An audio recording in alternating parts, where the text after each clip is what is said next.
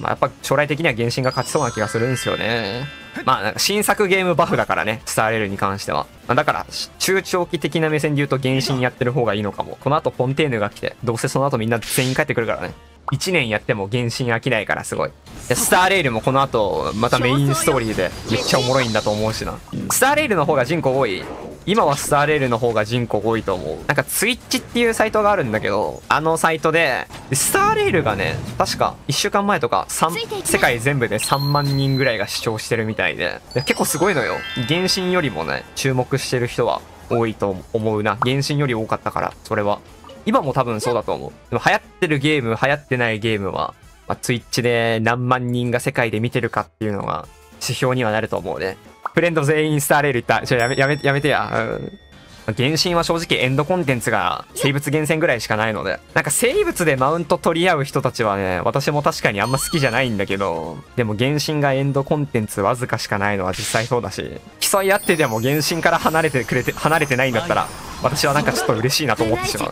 マジでメタバースみたいなの欲しい。まあわかる。スターレイルは忘却の庭とメタバースがあってずっとやり続けられるんよな。原神もそういうの欲しい感はある。スタレスタレばっかうるせえんだよお前ら。いやでも、わ、わ、わ、わかるよいや、わかるよ、気持ちは。え、でもね、なんか原神のイベントとかがね、あんま、すごい喜べなくなってるんだよな。あもちろん、教霊院のイベントとか、キャラがいっぱい出てくるイベントはいいよ。だけどほら、これよ。今イベントでさ、このソルシュのさ、なんか、原石とかもらえるイベントやってるやん。おーっつって。イベントで報酬もらえんか。うれ、嬉しいなってなるんやけど、崩壊スターレールの公式 Twitter、当たった。これ崩壊スターレールの公式 Twitter なんですけど、イベント情報。ボルダータウンスーパーリングイベント説明。まあまあ、あのー、まあ、ただのイベントの告知です。で、イベント報酬がもらえます。見てくれ、いいねの数。2.2万いいね。イベントで2.2万いいねってすごくない？こんなもんしゃ、しゃ、しゃーなくない？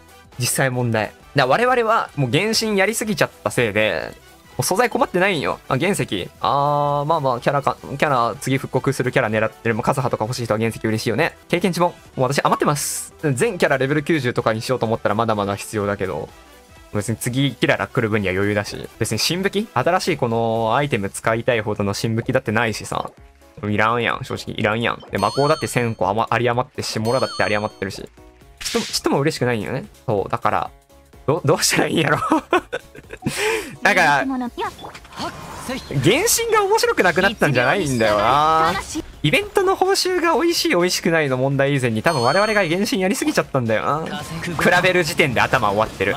いやいや、まあ、同じ会社のゲームだから、比べるのは、比べる時もあるんじゃない？やっぱ新キャラクターよね。新しいものがブワーっと追加されて何もかもが足りないよっていう時の困ってるのが結局一番楽しい時期だったっていう話よ。摩耗、摩耗、摩耗なのかなこれは？えー、まあでもな、ちょ素材の嬉しさっていう面では、やっぱり私もスターレールの新イベントで、おーってなったっていう話っす。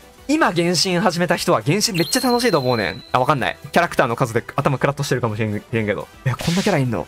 あ、もう、あ、もう全然揃う気しねえ。育成も追いつく気しねえ。あ、クラ。特産品168個。あ、無理だわ、クラ。ってなるかな？いや、絶対楽しいと思うねんな。やることが多いのは大変だけど。